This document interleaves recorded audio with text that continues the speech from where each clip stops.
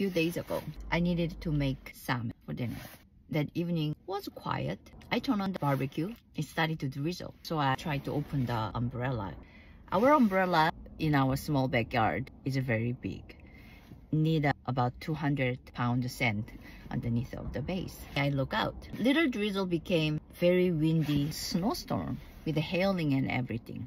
I tried to save the umbrella and heater and went outside. Sean realized it upstairs in the office. Whoa, look at those. There's a storm came out. Are you okay? And I said, heater got knocked off. I need to get the umbrella. I'm coming. And he's mumbling, where, where are my shoes? I have your shoes. My foot got stuck under the umbrella base. And the next moment, he came out. Alarm started to go off in the oven dogs barking. Daddy came down. He wants to play. An umbrella is blowing over the fence. My salmon is burning. And he came out without the shoes. His feet wet and muddy. Get my foot out of the base.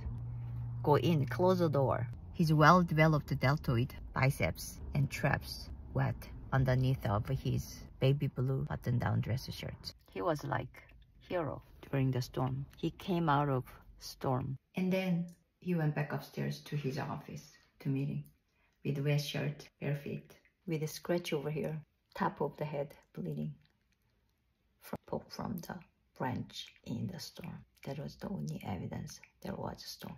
Oh, and a wet shirt. As if nothing was happened except for wet shirt. That is my hero.